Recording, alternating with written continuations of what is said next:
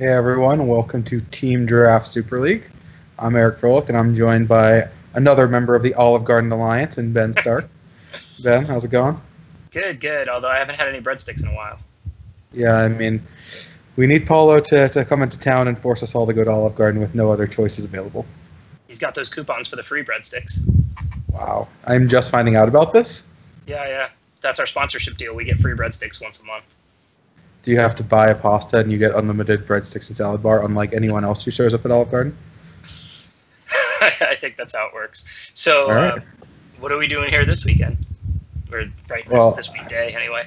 In, in Vegas, it's Tuesday. I don't know what planet you're currently on, but uh, that is a weekday. And I believe we're going to watch two pretty great teams engage in what I like to call team draft. And it's a pretty good format.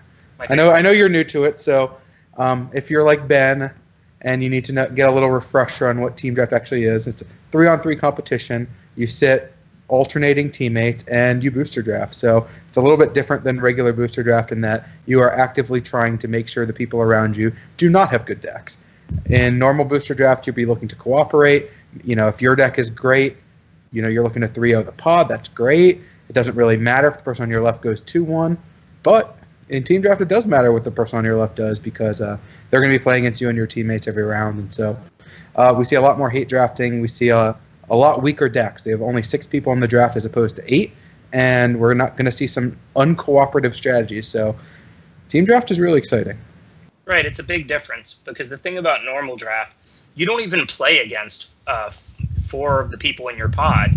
So when you're passing decks, you're just not that worried. And uh, the other three matches that you do play, you're only playing against each person once. So if you pass a really good deck, even if you play them, that deck is effectively only in play against you in one of the three rounds.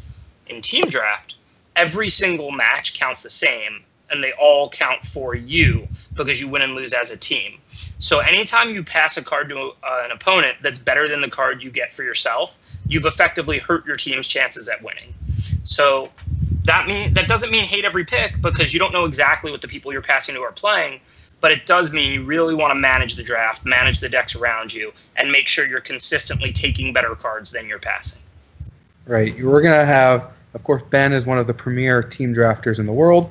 And you'll hear commonly as he calls the draft, you know, comparing the value of various cards for your deck versus what you expect the opponent to get. So, you know, you might open a pack where you're blue white and there's a card for you that Ben will describe as being a seven, and you'll be passing a card to your opponent that he might describe as being a nine or ten.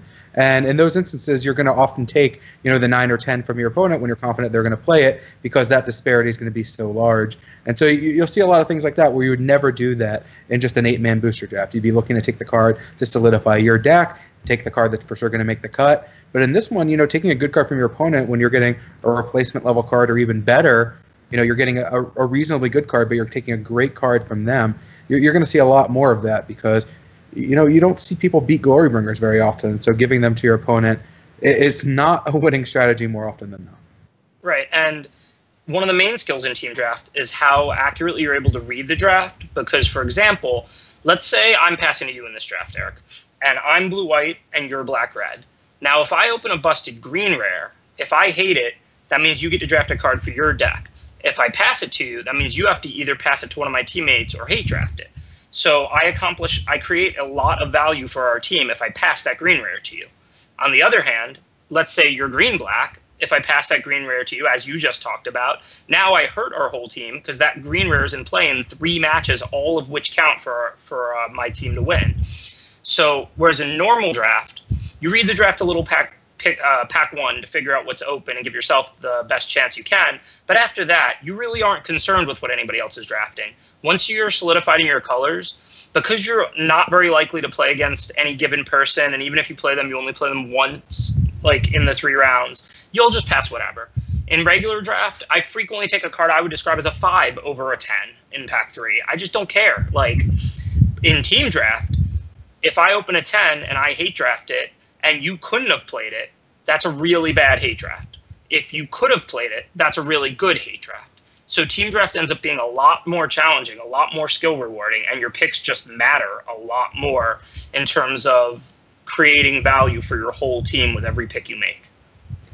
So we're lucky enough, you know, semifinals here in Team Draft Super League. Of course, we started with eight great teams, but uh, we got two of the very best in the world. Um, you know, on one side we've got the Peach Garden Oath. We've got you know Hall of Famer William Huey Jensen. We've got Hall of Famer Owen Turtenwald. We've got Reed Duke, who will be a Hall of Famer. I mean, I was going to say team, we could call him future Hall of Famer Reed Duke at this point. right. I mean, what this team has done is obviously, you know, they're they're second to none. I mean, they put up incredible results. They're incredibly consistent. All three are competing in the World Championships, and you know, a couple months in Boston. Like, this is the team to beat in any team event. Ben agrees. oh yeah, yeah. No, I mean, I thought I thought maybe we were going to go look at Madison, then I would talk about them or something. But uh, yeah, uh, of course I agree. There's not really a debate. I mean, they're amazing. They've been the most successful team in the modern era of teams ever. I mean, no question, number one. But uh, I mean, you know, the, part of it is they've been together the entire time, so they've had lots and lots of success. Like this other team, uh, Madison, with uh, Sam Black, Justin Matt Severa, they've also been incredibly successful. And they've actually even rotated. You know, I know, uh, I think Justin and Matt might have won a GP with Atron, and then they went and won one with Sam. I think they've also got another top four. You know, right. a lot of the, a lot of these great teams who know what they're doing in team draft and are three great players have have uh, had a lot of success in the team GPs over the past few years. Yeah, I mean, the fact that these are two of the best teams in the world kind of goes to what working with the same group of people can kind of do for you. I mean, the PGO has been together now for many years, played every team event together. And I mean, Justin and Sam live in the same house which is in the same city as Matt Severa and many other great Magic players. So getting to work together with so many good players on a consistent basis, you know, it, it just really helps bring everyone's game to the next level. I know that you know Owen, Huey, and Reed would all say that getting to work with each of the other two has made them the players that they are today. And so, you know, of course, all great players and all had success, you know, before teaming together, but being able to work together and being able to share ideas together and just become better magic players together is a yeah, it's tough to beat. That is that is a, a good way to go about becoming the best in the world. You know, it's funny. Before you said that, I didn't even think about it. Huey and Owen live in the same house, and uh, so do Sam and Justin. So uh, maybe the secret to team success is rooming with your teammates. Yeah, I mean, apparently it hasn't hurt. I, would never heard of anyone living with another Magic player and not doing incredibly well in, in team tournaments. So, uh, yeah, this this is apparently the strategy to go with. So, uh, I guess Paulo will be moving in with you at some point in the near future, and we are good to go.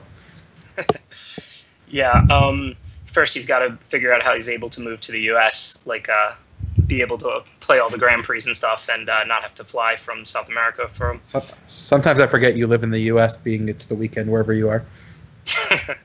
Just got back from a long weekend. Give me a break.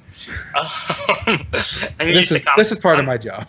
I'm used to commentating on the weekend. It's pretty rare that uh, you're here midweek uh, co- commentating a draft. But this is actually super awesome. I mean, last week's GP was historic, but now we have, you know, two of like we were saying, two of the top teams in the world playing my favorite format, team draft. And though commentating that standard Grand Prix was awesome, I got to be honest, I'm a lot more excited about watching uh, Reed Duke do this team draft. Yeah, for sure. I mean, we're, we're gonna have a few things to say. I'm gonna I'm gonna try to let you handle most of the expert commentary, and I'll try a little bit to reel you in instead of us both going on tangents about what we think about team draft. But uh, we, we definitely have a lot of opinions, and, and these are definitely some of the best players in the world that we're going to get to watch. Yeah, and I mean, you know, draft is complicated. Like sometimes you don't agree on the card value, but you agree on the strategy. Sometimes you don't agree on the team draft strategy, but you but you you know you do agree on or have similar card evaluations. I know the last time when we covered uh, Reed, you know, uh, he didn't do a lot of hate drafting, but he did he did take a few cards most of the picks I disagreed with, in retrospect, I think I might have even been wrong about because they were Cartouche and Splendid Agony, and I probably wasn't valuing Cartouche quite high enough. Right. Now, the team draft strategy, for example, when we when we saw him pass like a black broken rare when he was probably uh, passing to a black player, I think never return. That that uh, I felt a lot more confident in because, of course, you don't want to pass a card like never return to a black player.